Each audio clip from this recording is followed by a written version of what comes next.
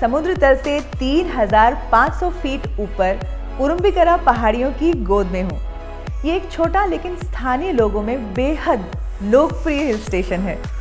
नमस्कार दोस्तों मेरा नाम पूजा है और मैं आपका स्वागत करती हूँ उरुम्बिकरा की इस रोचक यात्रा में। उरुम्बिकरा पहाड़ियाँ अति लुभावनी और जादुई छटा से ओतप्रोत हैं जो कि चारों तरफ़ से लकड़ी के घने जंगल से घिरी हुई है।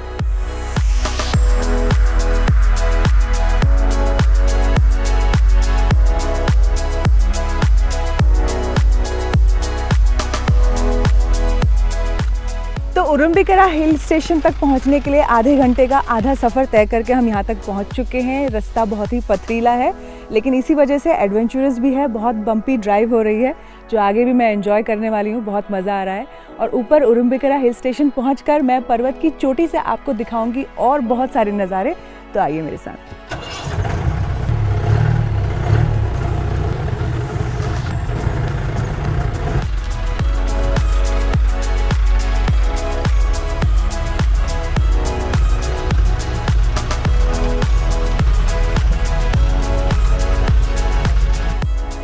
बस पहुँचने ही वाले हैं उरम्बिकरा हिल स्टेशन। आप पीछे देख सकते हैं, वो एक छोटा सा मंदिर है, जहाँ पे आप शांति के साथ बैठ के शांति के लिए प्रार्थना कर सकते हैं।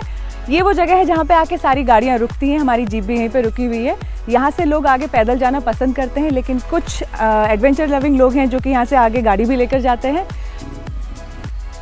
लेकिन हम यहाँ से पैदल जाएँगे तो आइए चलिए मेरे साथ, क्योंकि ऊपर जाके मैं पर्वत की चोटी से आपको दिखाने वाली हूँ बहुत सारे खूबसूरत नज़ारे।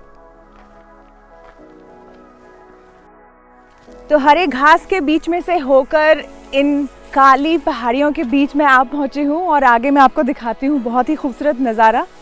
चारों तरफ़ घाटियाँ हैं, हरा घास है और बीच में शांति और कुदरत और आप। तो बैठ के यहाँ पे घंटों बातें कर सकते हैं अपने आप से। वाह! ऊपर आसमान आसमान में बादल, खुली घाटियाँ, इसमें हरा घास और मैं और मेरी शांति। वाह, इससे अच्छा अनुभव मैंने आज तक नहीं किया। और ऊपर जाके देखना है कि वहाँ से नज़ारा कैसा दिखता है। ट्रैकिंग का शौक मुझे बचपन से ही है तो मुझे बहुत मज़ा आ रहा है, मैं थक नहीं रही हूँ। वाह, थोड़ा और ऊपर जाते हैं।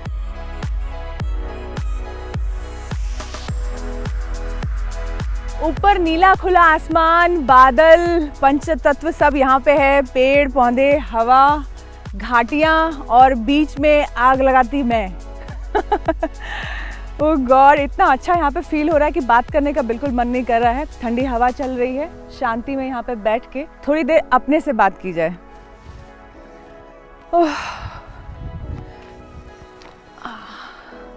इस खुली वादी में जब अपने साथ आप वक्त गुजार रहे होते हैं तो सबसे अच्छी बात यह है कि यहाँ पे वाईफाई नहीं है। यहाँ पे भगवान का ऊपर वाले का वाईफाई चलता है, यहाँ और कोई नेटवर्क नहीं चलता है।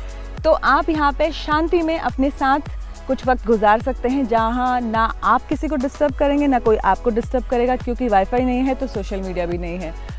तो यहाँ आइए और अगर आप अपने साथ कुछ वक्त गुजारना चाहते हो, कुछ समय अपने आप को देना चाहते हो तो यहाँ पे आकर आप शांति से कुछ घंटे गुजारिए, अपने आप को जानिए, कुदरत को जानिए और बस लंबी सांस लीजिए और मज़ा लीजिए।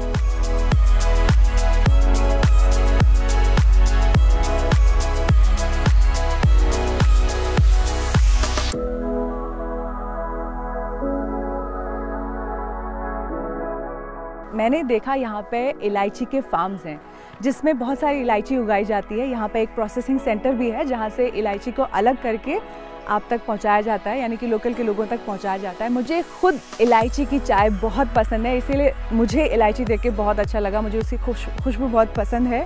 तो रस्ते में मुझे हमारे जो संचालक हैं अतुल, उन्होंने बताया कि किस तरह से इलायची का पौधा उगाया जाता है, किस तरह से फ़ार्मिंग की जाती है और किस तरह से उस पौधे से एक साल के अंदर इलायची को अलग किया जाता है। तो ये भी एक इंटरेस्टिंग चीज़ है जो यहाँ पे आप आके देख सकते आगे चलते हैं और देखते हैं कुछ नया और मिले तो।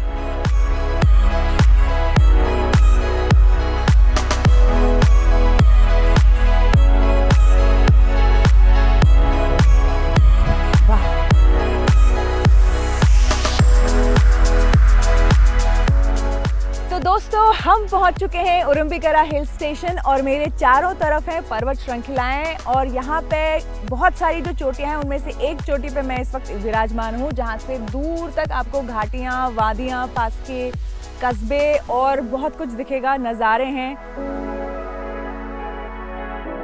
उरुम्बिकरा केरल के इड़क्की ज़िले में है, जिसके दूसरी तरफ़ कोट्टायाम जिला है, जो कि घाटी से तिहत्तर किलोमीटर की दूरी पे है।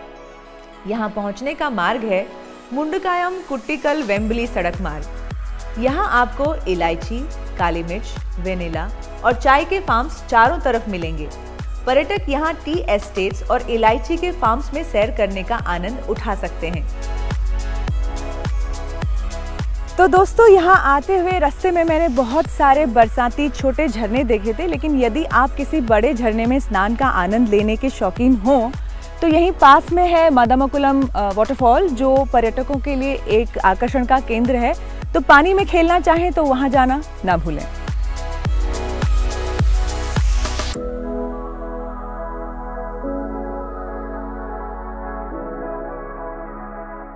पर्वत श्रृंखला की तरफ़ जाने से पहले खाने का सामान और पानी लेना ना भूलें। और एक निवेदन है, कृपा कर लौटते वक्त उपयोग की गई वस्तुएँ, बोतलें और थैलियाँ साथ लाना ना भूलें। उरुम्बिकरा पहाड़ियाँ, ये ठंडी हवाएँ, ये वादियाँ और 100 साल पुराना ऐतिहासिक उरुम्बी हिल पैलेस रिजॉर्ट आपका इंतज़ार कर रहा है।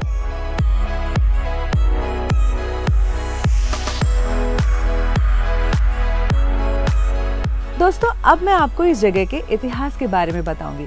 जॉन जोसेफ मर्फी जो कि आयरलैंड से थे, ने ब्रिटिश काल के दौरान यहाँ टी प्लांटेशन शुरू किया, जिसका कार्यभार उन्होंने स्थानीय सज्जन रामन कंकानी को सौंपा। मर्फी ने अपने रहने के लिए जो बंगला बनवाया था, उसे साइपन बंगला कहते हैं। मलयाली लोग फिरंगियों को साइप कहते हैं, इसीलिए। ये बंगला जिसके आँगन में मैं कैंप फायर और शुद्ध ठंडी हवा का मज़ा लेती हुई बैठी हूँ मर्फी ने रामन कंकानी के लिए बनवाया था। फिर सौ साल बाद इसे उरुम्बी हिल पैलेस रिजॉर्ट में बदल दिया गया। आज मैं यहीं रहने वाली हूँ। ब्रिटिश शासन समाप्त होने के बाद रामन कंकानी यहाँ तीन हज़ार एकड़ में फैले टी प्लांटेशन के मालिक बन गए। ये इतिहास की दूसरी कहानी है। इसके बारे में जानने के लिए आपको यहाँ आना पड़ेगा। तो यहाँ पे आप अपने परिवार के साथ आइए, अकेले आइए, लेकिन आइए ज़रूर, क्योंकि यहाँ पे आकर जो अनुभूति होगी ना, वो मैं आपको नहीं बता सकती उस अनुभव के लिए आपको यहाँ खुद आना पड़ेगा और आपके मन को बहुत शांति मिलेगी, ये वादा मैं आपसे करती हूँ। और यहाँ पे बैठ के आपको कुछ नहीं करना है, सिर्फ़ सांस लेनी है।